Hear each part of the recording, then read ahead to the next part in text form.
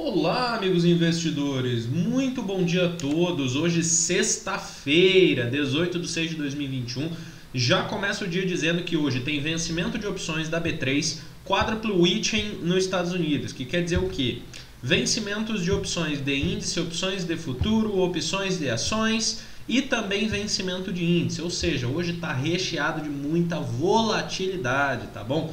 Então, muita atenção no dia de hoje, tá? Hoje é também aquele day after no negócio da, Petrobras, da Eletrobras, né? Foi aprovado na MP na, na, na no Senado, volta para a Câmara, Câmara hoje, né? E está aberto aí caminho para privatização, né? Além disso, ontem tivemos recorde de vacinação contra a Covid-19 no Brasil, mais de 2 milhões e 200 mil vacinas aplicadas. Isso é maravilhoso, pessoal. Isso é maravilhoso, né?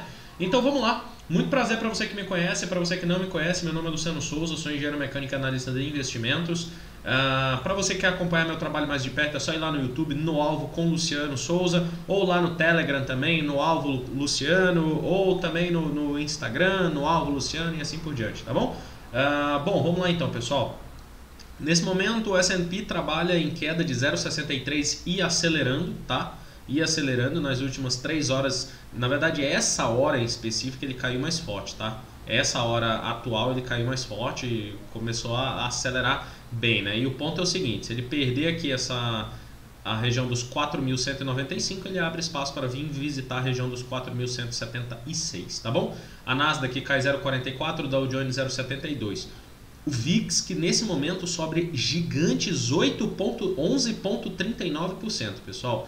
DXY cai 0,14, é, sobe 0,14 aliás, o petróleo tipo Brent cai 0,96 e o ouro, lembra que ontem eu falei no vídeo de fechamento que o ponto a se recuperar seria nos 17,69, dito e feito, né? ele está se recuperando até o presente momento, claro que por enquanto mostra-se um repique, mas temos bastante chão ainda pelo dia. Né? Europa trabalha majoritariamente em baixa, Xangai e Nikkei também em baixa e o Bitcoin também trabalha em baixa nesse momento em 1,10%.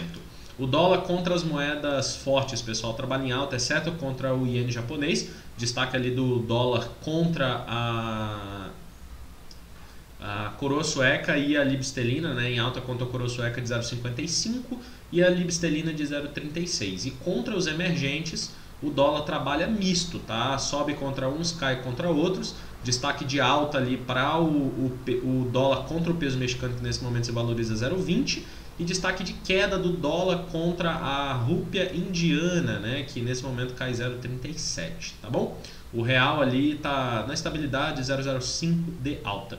Falando aí do fluxo agora, pessoal, uh, ontem gringo vendeu índice futuro, estão 41 mil contratos, eles estão girando o contrato já tem uns dias, tá? O institucional também girou contrato, estão aí com 39 mil na ponta vendedora. Já no mercado do dólar, ontem gringo vendeu mais forte dólar futuro, hein?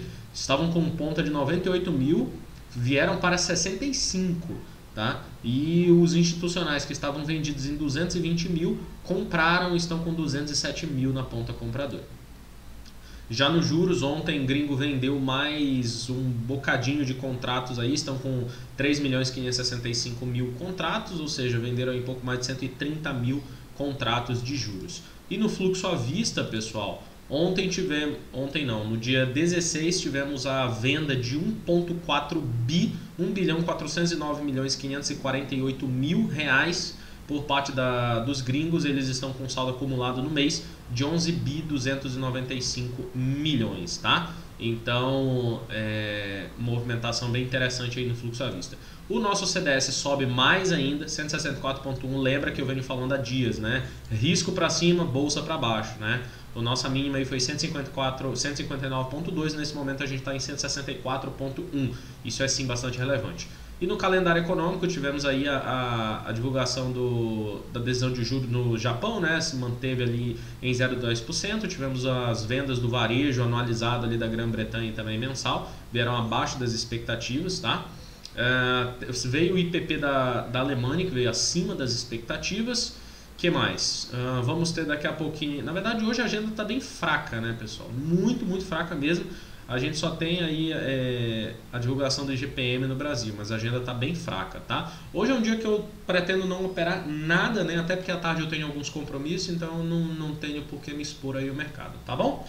Pessoal, final do dia ou amanhã de manhã tem vídeo semanal. Vou fazer aquele vídeo especial demais para vocês, para a gente poder se preparar aí para a semana que vem, né? Depois do vencimento de opções, a expectativa é que venha muita coisa boa e muitas oportunidades para a nossa bolsa, tá bom? Um forte abraço a todos, desejo a vocês uma excelente sexta-feira. Fiquem com Deus, bons negócios aí e vamos que vamos, tá bom? Um forte abraço a todos, valeu!